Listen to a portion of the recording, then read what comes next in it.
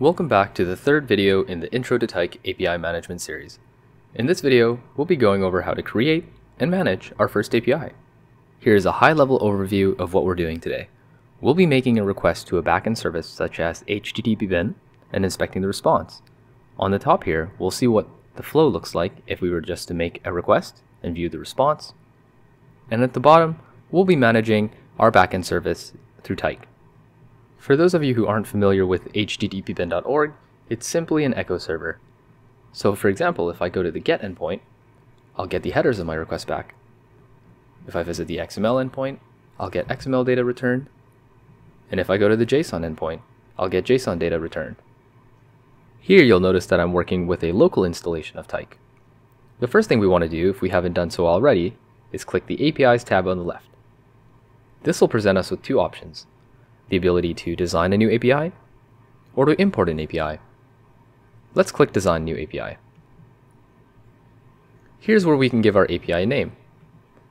The name I'll give my API today is httpbin demo. You'll notice that we support REST data sources, TCP or TLS data sources, or GraphQL data sources.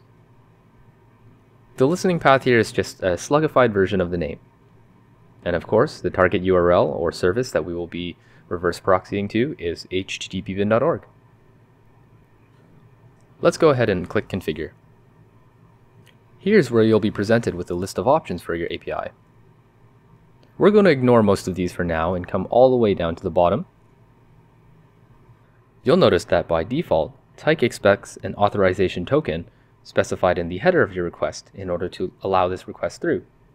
We're going to select this and change it to open or keyless for now. Now let's come up and hit save.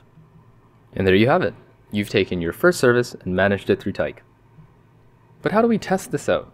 How can we visualize what we've done? I'm going to use a tool known as Postman. If you'll recall from earlier, the backend service that we're proxying to is httpbin.org. For example, if I go to httpbin.org and hit the get endpoint, I'll get the headers of my request back. But this is me directly contacting the service. How do I hit httpbin.org through Tyk? Well, if I flip back to my dashboard and I click into the API we just created, I'm given an API URL at the top. Let's go ahead and copy this. Tabbing back to Postman, I'm going to create a new request. I'm going to paste in the request URL. And just as before, I'm going to try to hit the get endpoint. And there you go we have taken our first backend service and managed it through Tyk. For those of you who are managing your APIs on Tyk Cloud, the way in which we access the services is slightly different. The first thing we want to do is take a look at the control plane. Make sure to make note of the edge tags of your edge gateways. Additionally, you'll want to make note of the ingress URL and you can click this button right here to copy the value. Next, in Postman, make sure that you paste the value in the request URL. Coming into the APIs tab on our dashboard, I'm going to click into our API.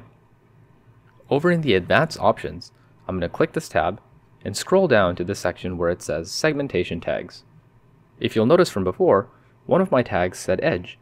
So I'm going to give this API an edge tag. I'm going to come up here and hit update.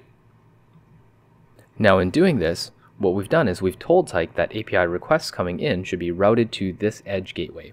Let's click back to the core settings. Let's scroll up to the section where we have our listening path and make sure to give this a copy. Tabbing back over to Postman, we're going to paste the listening path at the end of our ingress URL. And what we want to do is we want to hit the get endpoint of HTTP bin. And you'll notice that now our requests are going through Tyk Cloud. And it's that easy. I've shown you how to take your backend service, which is HTTP bin for today's demo, and manage it through Tyk, both on an on-premise installation and through Tyk Cloud. In the next video, we'll go over some of the more advanced configuration options and plugins that we offer out of the box.